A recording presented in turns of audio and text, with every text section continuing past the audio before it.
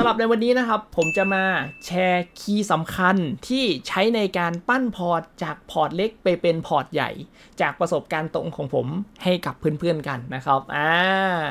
ก็นี่นะครับตามหัวข้อในกระดานเลยนะครับ ทุกคนก็คือหากเรามีพอร์ตเล็กเนี่ยเฮ้ยเราจะปั้นยังไงดีนั่นเองนะครับอ่าซึ่งก็จะเป็น key ที่ผมใช้นะครับในการปั้นจากพอร์ตเล็กไปพอร์ตใหญ่ในทุกๆพอร์ตเลยนะครับที่ผมจะมาแชร์ให้กับเพื่อนๆในวันนี้นะครับ ทุกคนอ่าโอเคก่อนอื่นนะครับก่อนเราเข้าสู่เนื้อหาของเราในวันนี้กัน ก่อนเราจะไปดูว่ามันมี key อะไรบ้างที่ผมเอามาแชร์กับเพื่อนๆในวันนี้นะครับก่อนอื่นเรามาทำความรู้จักกับสิ่งที่เรียกว่า การปั้นพอร์ตกันก่อนนะครับทุกคนเออการปั้นพอร์ตมันคืออะไร เอออะไรคือการปั้นพอร์ตนะครับสำหรับใครที่เป็นมือใหม่อาจจะยังงงอยู่นะครับว่าเฮ้ยพี่มาร์กอะไรคือการปั้นพอร์ตนะครับแต่คนที่เป็นมือเก่าแล้วก็อาจจะไม่งงแล้วนะครับก็รู้กันอยู่แล้วว่ามันคืออะไรนะครับทุกคนอะโอเค เพราะนั้นเดี๋ยวเรามาทำความเข้าใจกับเรื่องที่มันสุดแสนจะเป็นพื้นฐานนี้กันก่อนแล้วกันนะครับทุกคนก็สำหรับคำว่าการปั้นพอร์ตนะครับมันก็คือ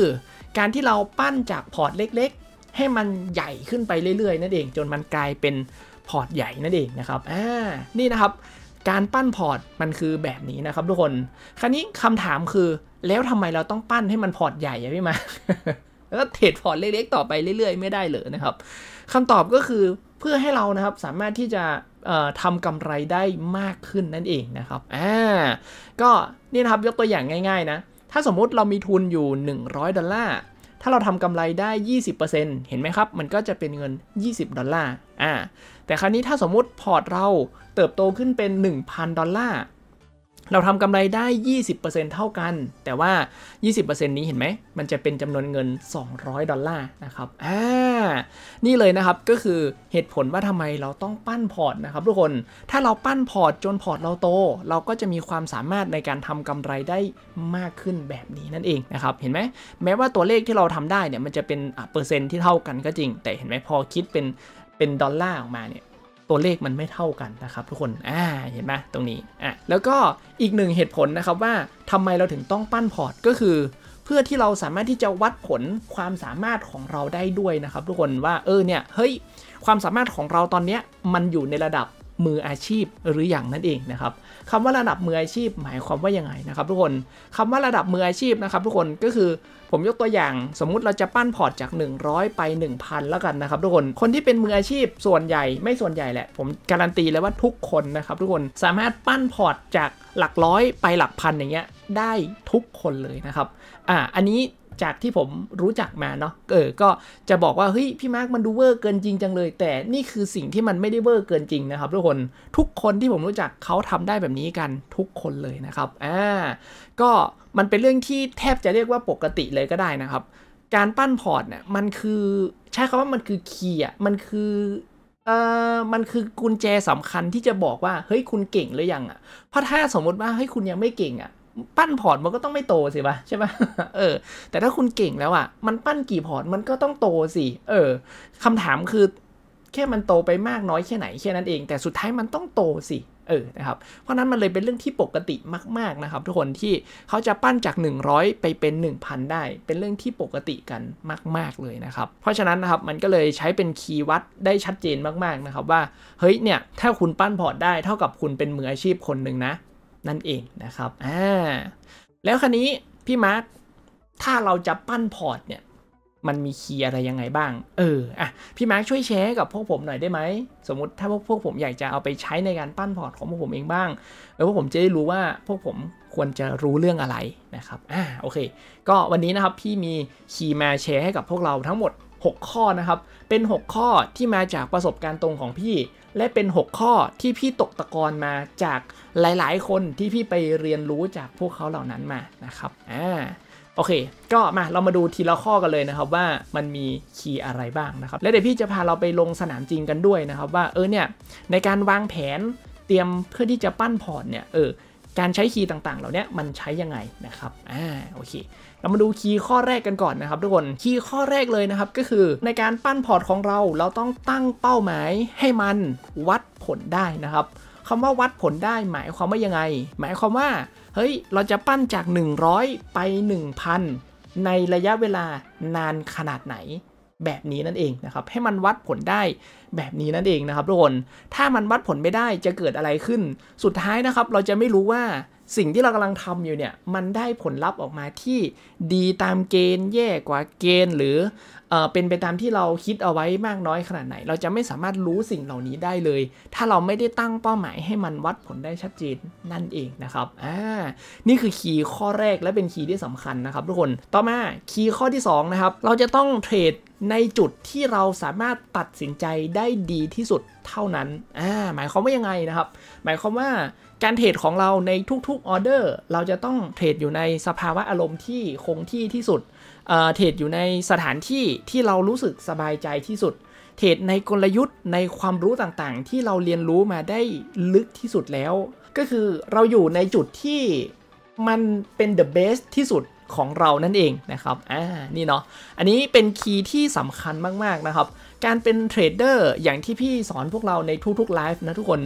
เราไม่ได้กำลังสู้กับตลาดอยู่นะครับ เราไม่ได้กำลังสู้กับหุ่นยนต์อยู่ แต่เรากำลังสู้กับใครสักคนในตลาดอยู่นะครับ สู้ผ่านสิ่งที่เรียกว่าการตัดสินใจนะ เออ เพราะฉะนั้นหมายความว่า ถ้าเราจะชนะคนอีกคนหนึ่งได้ เราต้องตัดสินใจให้อยู่ในจุดที่ดีที่สุดเสมอ ให้ได้ในทุกๆ ครั้งเท่านั้นนะครับเราถึงจะชนะอีกฝ่ายหนึ่งที่กำลังสู้อยู่ได้นะทุกคนเออเพราะนั้น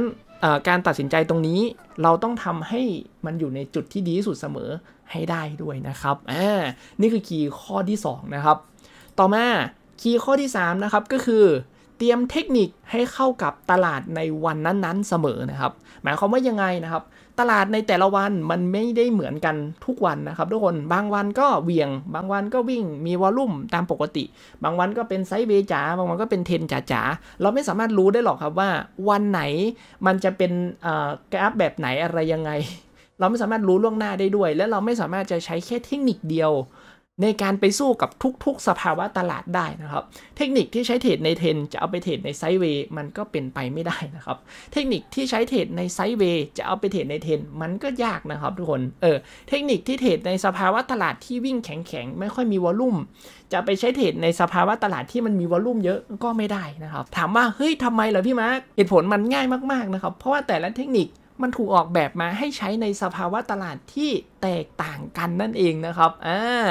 เพราะฉะนั้นการที่เรานะครับมีเทคนิคมีกลยุทธ์ที่เตรียมมาเยอะ มันก็จะทำให้สุดท้ายแล้ว เวลาเราเจอกับสภาวะตลาดที่แตกต่างกันในแต่ละวัน เราก็จะเลือกเทคนิคมาใช้ได้อย่างถูกต้อง ให้เราเทรดวันนั้นได้ดีที่สุด แล้วมันก็จะวนกลับมาที่คีย์ข้อที่ 2 ก็คือ ก็เพื่อให้เราตัดสินใจได้ดีที่สุด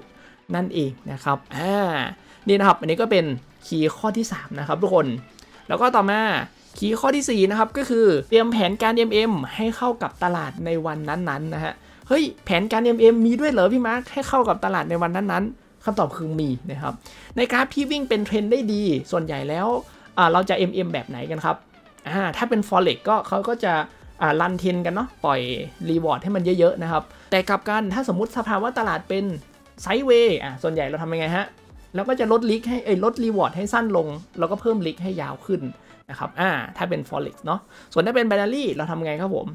ถ้าเป็น binary เราก็จะอ่าถ้าเป็นเทรนได้ดีเนาะเราก็จะปรับเป็นการ martingale ให้บ่อยขึ้นนะครับอ่ากับการถ้าสมมุติมันเป็น sideway เยอะนะครับเราก็ลดการ martingale ลงนะครับอ่าแล้วก็ปรับเป็นเดินไม้เสมอให้บ่อยขึ้นแทนอ่านี่นะครับ มันก็จะต้องมีการปรับมีการเตรียมแผนแบบนี้ในทุกๆวันด้วยนะครับเราต้องปรับนะครับทุกคนไม่อย่างนั้นสุดท้ายแล้ว เวลาที่เราทำกำไรได้ เราก็จะทำกำไรได้ไม่ไม่ดีที่สุด ไม่มากที่สุดเท่าที่เราควรจะได้ นั่นเองนะครับอ่าแล้วก็ต่อมาคีย์ข้อที่5นะครับก็คือติดตามข่าวสารอยู่เสมอนะครับ การติดตามข่าวสารเป็นอีกหนึ่งหัวใจสำคัญเลยนะครับ เพราะว่าเราจะไม่รู้เลยว่าอนาคตมันจะเกิดอะไรขึ้นได้บ้าง หรือปัจจุบันมันกำลังเกิดอะไรขึ้นบ้าง เราจะไม่รู้เลยนะครับ และเมื่อเราไม่รู้เราก็อาจจะ เทรดในจังหวะที่มันไม่ควรจะไปเทรดก็ได้นะครับ เช่นออย่างช่วงก่อนหน้านี้เนาะเยนนะครับเยนอ่อนค่าหนักมากนะครับ แทบจะทุกเทคนิคเลยนะที่มองว่าราคาจะลงเนี่ยนะครับโหวินเลตตกกันเป็นว่าเล่นเลยนะครับอ่าก็นี่แหละนะครับ ซึ่งถ้าเราไม่ติดตามข่าวสารแล้วเราดันไปเทรดตามเทคนิคเหล่านั้น เทรดเป็นฝั่ง sell ตามเทคนิคโดยที่ไม่ดูอะไรเลยสุดท้ายสิ่งที่เกิดขึ้นคือระยะยาวนะครับ พวกเราก็จะ win rate drop ลง และผลลัพธ์ที่เกิดขึ้นคือ เราก็จะทำกำไรอาจจะไม่ได้ดีเท่าที่ควรนั่นเองนะครับ แต่คราวนี้กลับกันนะครับในช่วงก่อนหน้านู้นเนาะที่เย็นมันอ่อนค่านะทุกคน UJ มันวิ่งขึ้นดีมากเลยนะครับทำให้จุดเข้าที่เป็นฝั่ง buy อะไม่ว่าจะเป็นจุดเข้าของเทคนิคไหนก็ตามนะครับส่วนใหญ่แล้ว win rate จะเพิ่มขึ้นเยอะมากๆเลยนะครับอ่าถ้าใครไม่ติดตามข่าวก็โอ้โหเสียโอกาสฟรีเลยนะนี่นะครับอะอันนี้ก็เป็น key ข้อที่ 5 นะครับ ติดตามข่าวอยู่เสมอด้วยนะครับโอเค แล้วก็ต่อมา key ข้อที่ 6 key ข้อสุดท้ายนะครับก็คือให้เรามีที่ปรึกษาไว้คอยรีวิวการเทรดด้วยนะครับ มีที่ปรึกษาไว้คอยรีวิวการเทรดเนี่ยหมายความว่ายังไงนะครับ หมายความว่าในทุกๆวันนะครับ เราจะต้องมีใครสักคนหนึ่งอะ่ะเออที่มาเฮ้ยนั่งคุยกันหน่อยนะครับว่าวันเนี้ยการเทรดของเราเราเทรดได้ดีแล้วหรือยัง เออ มีอะไรต้องปรับเพิ่มไหมหรือว่ามีอะไรต้องแก้ไหมนั่นนู่นนี่ นั่นเองนะครับอ่าถ้าสมมุติว่าไม่มีการรีวิวเลย สิ่งที่เกิดขึ้นคืออะไร สุดท้ายเอาวันนี้เทรดจบ แล้วก็เราก็รอเทรดใหม่พรุ่งนี้ โดยที่ไม่ไม่เช็คเลยว่าวันนี้เรามีข้อผิดพลาดตรงไหนบ้าง มันก็จะทำให้เราก็จะไม่รู้ว่าเราพลาดตรงไหนอะไรยังไงบ้าง แล้ววันต่อๆไปเราเทรดเราก็อาจจะยังพลาดเหมือนเดิมก็ได้ ถึงแม้มันจะเป็นข้อผิดพลาดเล็ก ๆ น้อยๆ แต่มันอาจจะเป็นข้อผิดพลาดที่อาจจะส่งผลกับเราในระยะยาวอยู่บ่อยครั้งเลยก็ได้ นั่นเองนะครับอ่าเพราะนั้นเราจะต้องมีคนที่คอยมาช่วยเรารีวิวด้วย ให้เราปิดจุดอ่อนต่างๆ ของเรา ให้เราเทรดได้ดีที่สุดเท่าที่จะเป็นไปได้ได้นั่นเองนะครับอ่านี่นะครับอันนี้ก็คือคีย์สำคัญข้อที่ 6 นี้นะครับ ก็คำนี้ถ้าเราอยากมีที่ปรึกษาสักคน ผมให้คีย์เพิ่มให้ให้คีย์ในคีย์เพิ่มไปอีกเนาะก็คือ หาที่ปรึกษาที่เขามีผลงานจริง ๆ นะครับ ทุกคนเออหาที่ปรึกษาคนที่เขามีความรู้มีความสามารถมีความเข้าใจจริง ๆ ไม่ใช่ที่ปรึกษาที่ไก่กาปลากระป๋องใครก็ไม่รู้อะไรอย่างนี้นะครับ ถามว่าทำไมล่ะมันเป็นใครก็ได้ไม่ได้เหรอพี่มาร์คเหตุผลมันง่ายมากๆนะครับ ทุกคนเราอยากจะเก่งหรือเราแค่อยากจะมีเพื่อนคุย เราอยากได้อะไร ถ้าเราอยากจะเก่งเรามองเห็นว่าความสำเร็จในชีวิตสำคัญกว่าก็นั่นแหละครับ เราควรจะหาคนเก่งมาเป็นที่ปรึกษานะทุกคนอ่าอย่างของผมนะครับ ผมก็มีเพื่อนปรึกษาเยอะแยะมากมายเลยนะทุกคน หนึ่งในนั้นก็เนี่ยครับ อยู่ในช่องแชทเราเนี่ยน้องไอดิวนะฮะ